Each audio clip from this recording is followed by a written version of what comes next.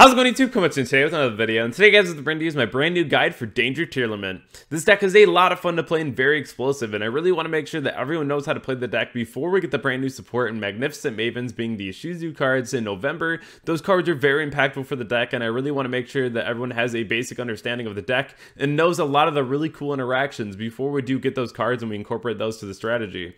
If you haven't already checked out my sponsors over at Imperium Duelist, Dragon Shield, or Gem, definitely go ahead, check them all out down in the description below. Without further ado, let's hop right on into the video. So the first thing that we're going to do is cover a lot of the basics and make sure that everyone knows exactly what these cards do. We left out Metanoise. It's the other trap card that allows you to book a moon and then Foolish. It's not that good right now, especially Book a Moon's still really good, i.e. Snow's insane, you know? But at the same point, I feel like these other two traps are just a lot more impactful at the moment. Being solely that continuous trap is so good. The fact that in the mirror match having this and Kaleido Heart is just so good, is so good. Kaleido Heart in the mirror is so important, and we'll talk about why that is. But this being a continuous and also a permanent imperm is really crazy. Then you can go ahead and send a monster you control to the graveyard. And then if this card alone is sent to the graveyard by a card effect, so if they choose to like blow up your back row or if you mill this, it turns into a Roto, which is really crazy. I play this card at three. I think that's very strong. Uh, this is something that you definitely want to open up every game. And then even if you have to send it off of things like your Reinoheart, still very strong. Again, being able to get that Rota as well, really nice.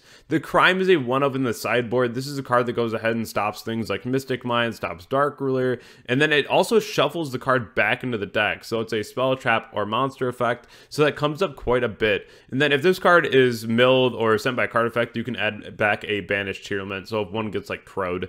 Uh, but usually that's not the case. Usually you're just getting to this immediately. So you have this, especially if it's games two or three. Uh, really important card to have in your sideboard for when you're going first. I always side this card in 100% of the time.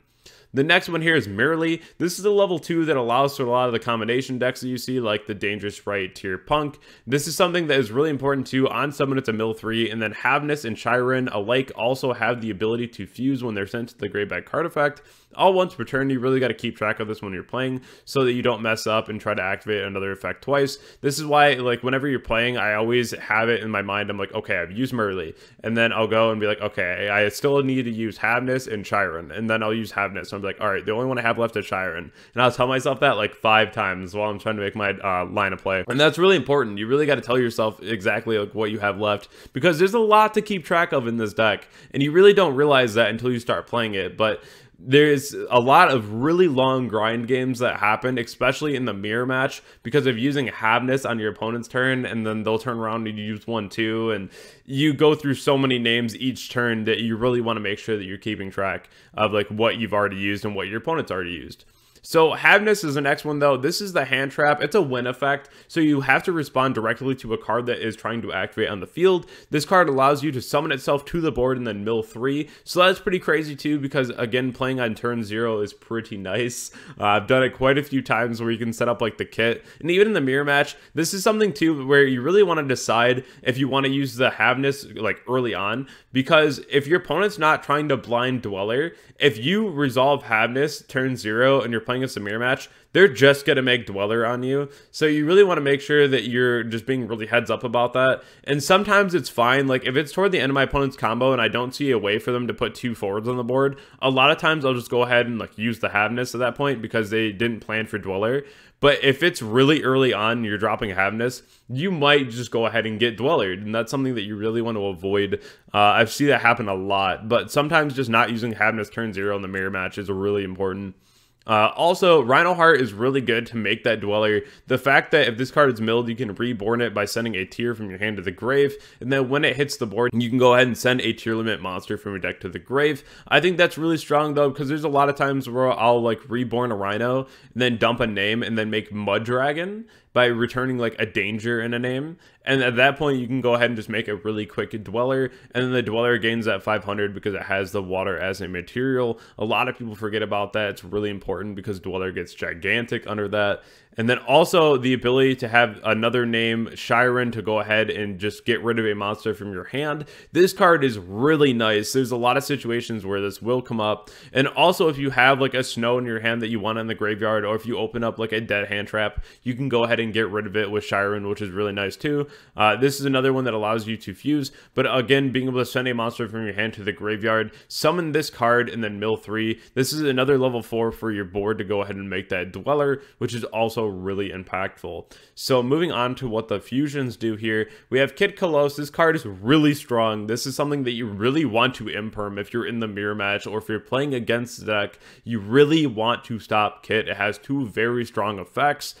On summon, you can either add or send a Tearlament card. This is really important too because you can go ahead and get to your Cryme, your Sulliek. If you need to get to your Merrli, which is typically the play that you do, you'll go ahead and summon Kitkallos and then you'll add Merrli to your hand. You'll use Kitkallos effect, you'll summon Merrli and then send Kitkallos, and then on a new chain, you'll go Kitkallos 1, Merrli 2, or you, it just depends on which one you want to go for. Typically, I will do Merrli 2 because if my opponent has Gamma and they game on my Merrli, I'm just going to be going ahead and using the effective fusion anyway. I'd rather protect the bigger mill at that point. And the mill 8 is really nice, and this is something that you'll see a lot too. Even if you just mill one name, it's really impactful, or like Snow. So Kitkallos plus Merrli is the standard combo, and it's really strong. Then having Kaleido Heart, this card is really cool too. It cannot be used as fusion material, so you can always feel safe having this on your board if you're playing against the mirror match, because Super Poly literally doesn't matter. And then also, if this card is special summon or if an Aqua is sent to your grave by card effect, you can go ahead and target a opponent's card and then shuffle it back into the deck. And then if this card is sent to the grave by card effect, you can special summon this card, and if you do, send a Tearlament card from your deck to the graveyard. So this is also fairly impactful. I like this a lot. Uh, this is a card that you set up with Sulliek and it's really important in the mirror match because you really want to make sure that you're getting rid of Kaleidos and Snows. A lot of times I'll force the interaction from my opponent to have to snow me, and then at that point I'll use Kaleido to bounce their snow back to their deck because you really want to make sure that you're not in a position where you can't go for game because they can keep blocking with snow. So this is something where they get rid of their graveyard doing that, but I'd rather just like force a snow interaction and then Kaleido spin it, or if they already have a Kaleido on their board, spin that back to their extra deck as well. But make sure if they have a field spell up that you're trying to clear that too with like your field spell, because field spell is really impactful. Like if you shovel back their Kaleido, it will trigger their field spell. So that's something that you really want to make sure that you're on top of. Uh, but overall, Kaleido is like one of the craziest cards in the deck. It's very good.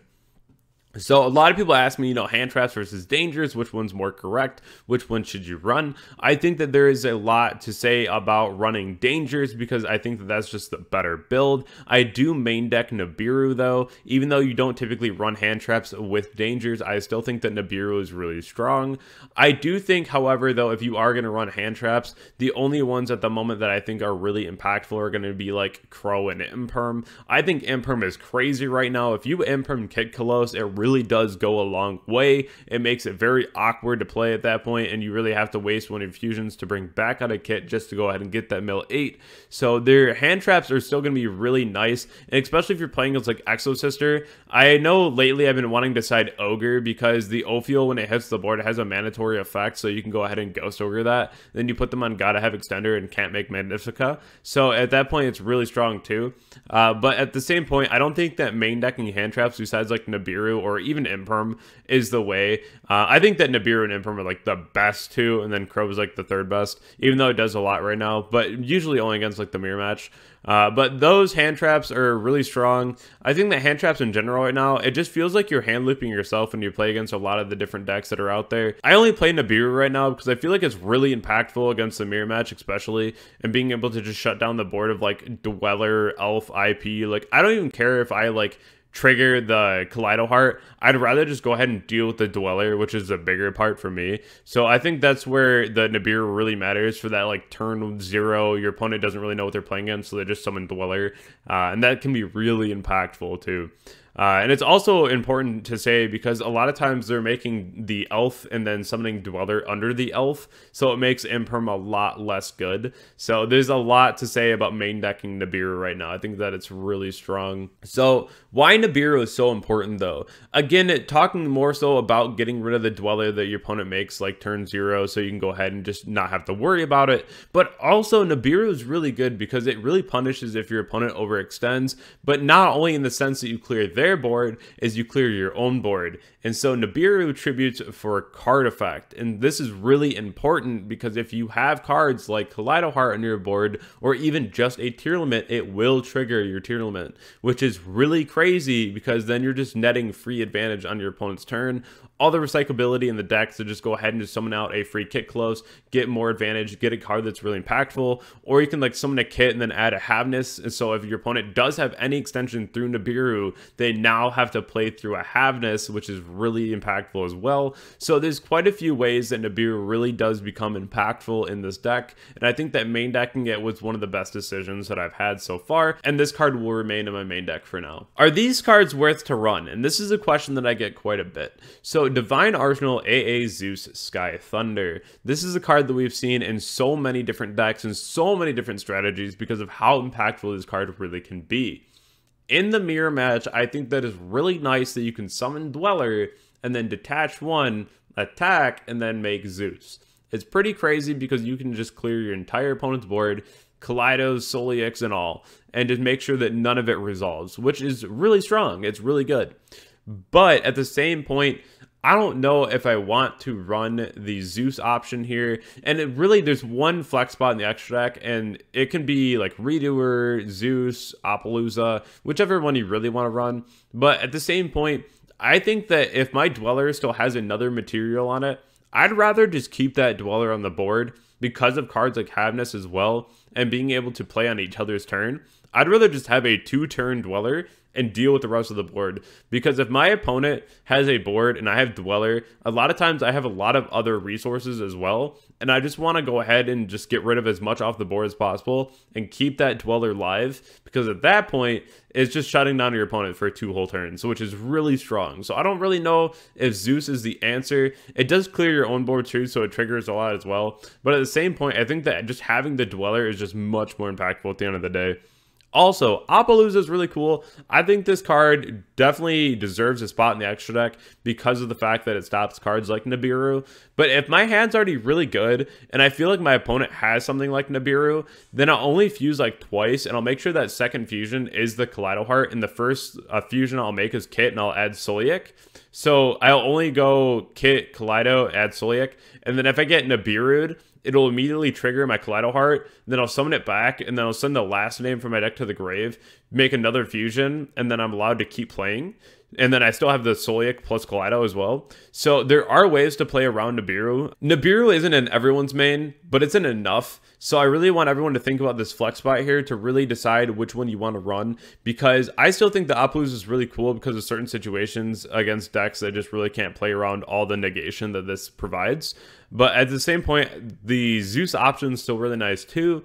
But I still think that having the Dweller as a two turn versus one is just really impactful at the end of the day. So it's really up to you as to which card you want to run as your last spot. I was running Dugares for a little while. I thought that card was really cool too because of the draw option, the reborn option. Like if your Kaleido gets dealt with, you can go ahead and reborn it, which is really cool. Like if you can't get to your uh, Kitkallos or if your Kitkallos gets like negated, that you have like another way to get it back on board. And that was really impactful for a while as well.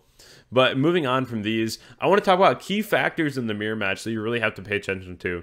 So the first one that I've already talked about was the Kaleido Sulliek play. Being able to bounce Snows, being able to bounce Kaleidos, it's really important to be on top of both of these cards. You really need these available to you. Then also having the Prime Evil, honestly, the attack gain and being able to just swing over a Kaleido is really impactful too.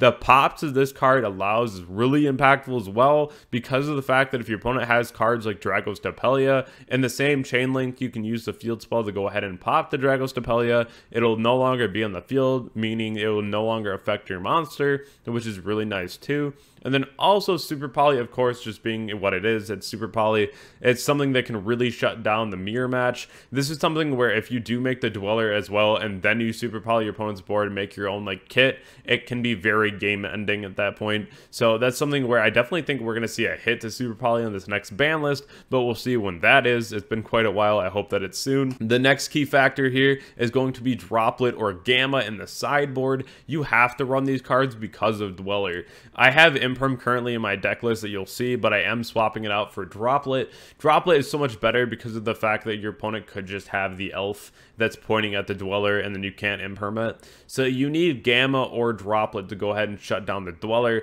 It's very important because the Dweller is so impactful against the mirror match. It's literally something that you almost have to pass against. I like having the dangers in the deck, but it's something where even if your dangers get sniped out of your hand and Dweller's live, it does hurt a lot, but it's still something that allows you to extend through a lot of what's going on. Uh, especially if you hard open like the Super Poly, you're not immediately just kind of like dead. I've had games where I had like Super Poly, a danger, and then Havnis, and so I'll try to like summon the danger to like swing over the dweller. I have Havnis for the follow-up turn. I have super polys. So there's definitely times where you can live through the dweller, but almost always this card is very just game ending. It's really insane. A very important tip for playing into the mirror match is actually just summoning the Mud Dragon first. This card is really crazy, especially if you open up the instant fusion. A lot of times this is actually really smart to go for.